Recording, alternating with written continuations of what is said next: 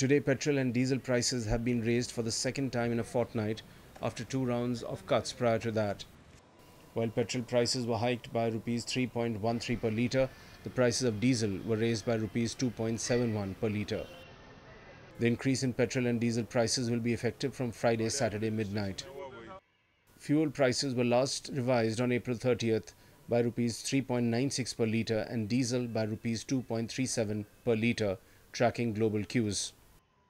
Oil companies review global crude prices every fortnight and revise fuel prices accordingly. Powered by NNIS.